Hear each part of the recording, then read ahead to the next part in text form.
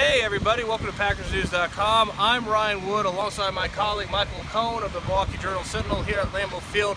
Michael, the last open OTA session today. Last chance for media to get to see OTAs before minicamp next week and then obviously training camp right around the corner.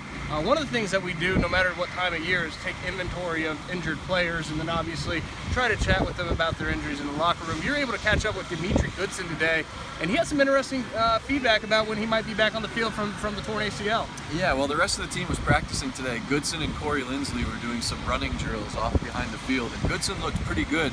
So I asked him about you know how he was feeling, and he said he's feeling great. He's already sprinting, cutting, and backpedaling with no issue. And he said the medical staff has talked about him returning as early as the middle of training camp, which would add just another name to the cornerback position battle and give the Packers potentially one of their best special teamers back on the field.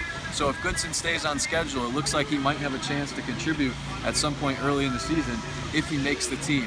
Another guy that dealt with a big injury last year, coming back from one, he's now got some more time between him and the actual ACL problem.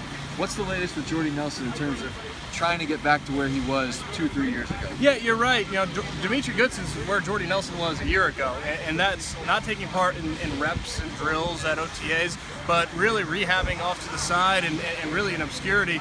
And that process is such a long process, especially for ACL.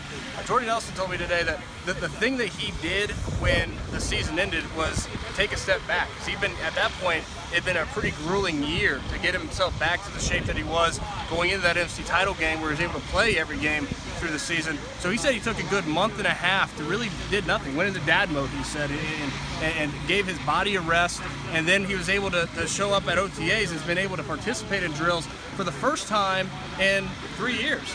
2015, after the 2014 season, uh, he, he had a hamstring that kept him out. Uh, in 2016, obviously last year, he's rehabbing from the ACL. The last time he was able to go in through a full OTA session and, and the full offseason program here at the Packers was 2014, which just by chance happened to be the best season of his career. So he's back in that mode. He made a, a, a spectacular catch today. There's so few plays that really pop out on an OTA in an OTA session. It was one of them uh, from Aaron Rodgers. So you, you can see Jordy Nelson that like Mike McCarthy said today, that history would show that you're better in year two after a major injury than, than year one. That's his mindset right now, his focus, and a big part of that is just getting the rest during the offseason. Uh, we'll see what happens at minicamp. We'll see if the veterans are here for minicamp. I, I would be surprised. Mike McCarthy was not ready to say yet today. Uh, and then obviously training camp around the corner. Make sure you stay to PackersNews.com for all your Packers coverage. Until next time, he's Michael. I'm Ryan. Take care.